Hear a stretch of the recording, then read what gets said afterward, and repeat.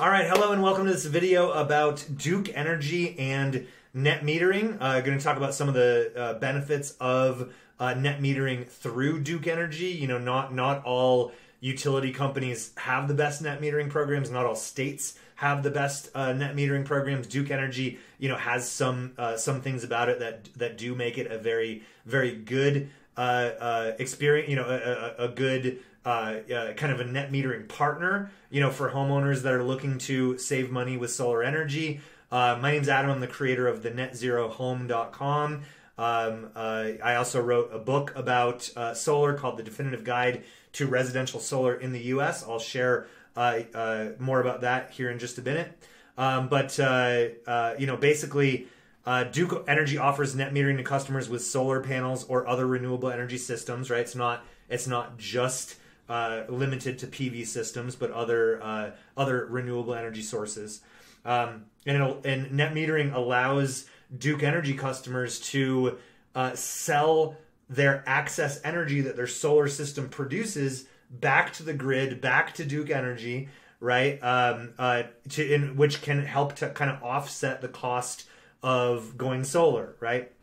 Um, so Duke Duke offers one to one net metering, um, and what that means is Duke will will buy it. Duke will sell you one kilowatt hour of electricity for the same amount that they will buy it back to you from, right? So if your if your solar system produces more energy than your home uses, right, and you have excess uh, energy, you can you can sell it back to Duke at the same rate as you buy it from them, right? And what what's Duke going to do with it? They're going to go and sell it to your you know your friends and neighbors and uh, you know uh, you know businesses in your in your community um, uh, that that they also serve, right? So so for example, you buy electricity for 22 cents a kilowatt hour.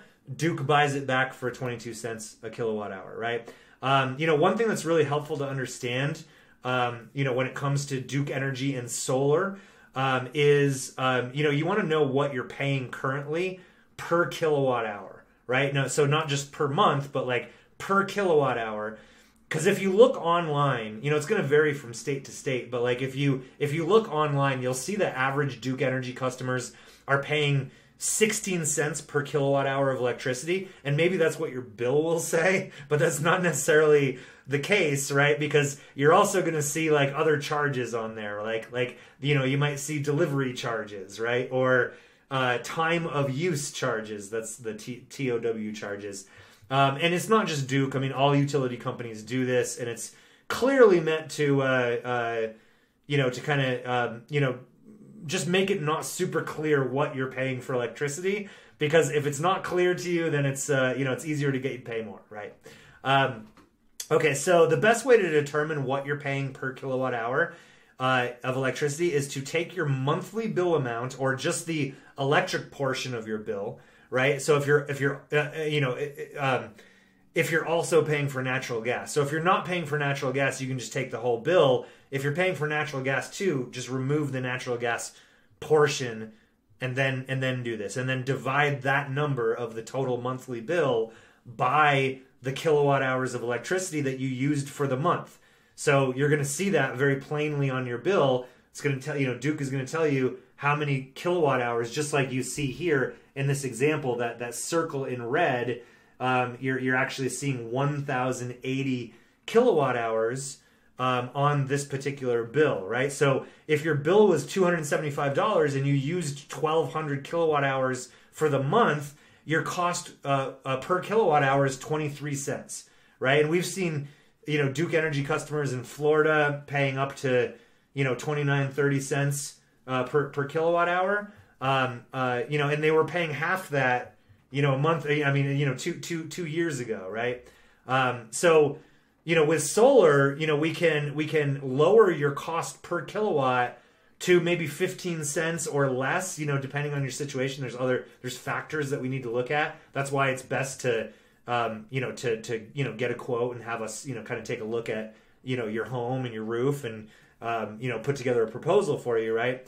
Um, uh, and this could potentially reduce your monthly electric cost by 50%, right? It's like your, your, your, you know, your, your, your, uh, bill to Duke is going down to next to nothing, you know, $20 a month maybe, right? For the, you know for electricity, and then um, and then and then uh, uh, you know then you're then you're you know either buying the solar system or financing the solar system for less money than you were paying to Duke right? So so this is a good alternative to Duke, to Duke Energy if you're looking for an alternative to Duke Energy. You'd still be a customer with Duke. Duke would be more operating as a virtual battery for your solar system, right? And the best part is that you get to lock in that lower rate for the next 25 years, you know, if you were to finance it for that long. Rather than being subject to Duke's annual rate hikes, right? So if you're paying 22 cents a kilowatt hour now, you know, there's a good chance that in five years you might be paying you know, 32 cents a kilowatt hour, or, you know, in, in, in five, ten years, you know, could, you know, very likely that you could be paying 60 cents a kilowatt hour or more than double what you're paying right now, right? But with solar, we're able to lock in the lower rate. You're paying less than what you're paying now, and we lock it in for the next 25 years, right? And you can sell the excess energy back to the utility company, back to Duke through net metering. Uh, so if this if this sounds interesting to you, if if if, if uh, uh, you know if, the, if this sounds like a cool way to you know save some money on energy and and uh, you know shield yourself from the constant you know from the rate hikes that you're going to see from Duke over the next several years, right? Then uh, you know I, I, I highly recommend you get a copy of my book, um, uh, uh, where and, and you can uh, you know see that down below, and you can get uh, get a solar quote as well.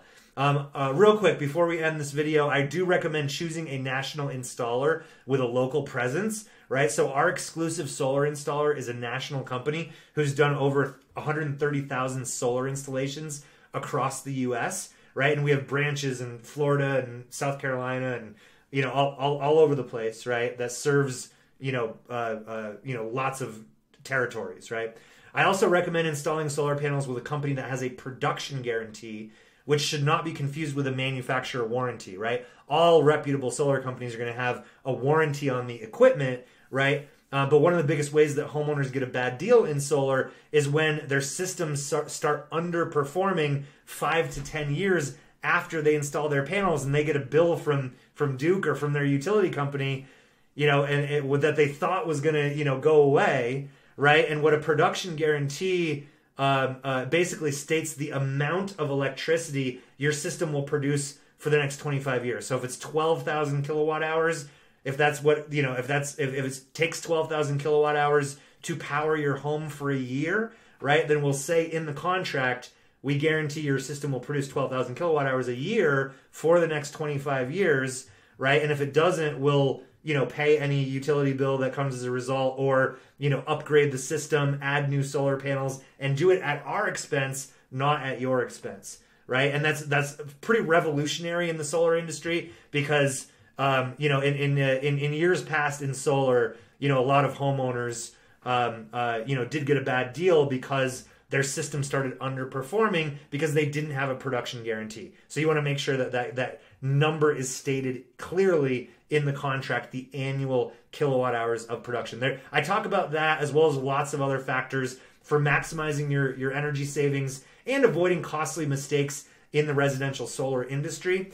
Uh, you can you can get a copy of the book at thenetzerohome.com uh, slash book or check the description of this video where you can either get the free version, free digital version of the book, or um, uh, a uh, um, uh, the physical version. You know, if you just pay a few dollars shipping, and I will mail a copy of the book to your house. All those links are in the description and more. Check that out and you know let, let me know if you have any questions I'll, I'll answer any questions that you that you that you leave in the comments uh, relating to uh, going solar with with Duke Energy um, and you know Duke's uh, net metering policies. And we'll see you in the next one.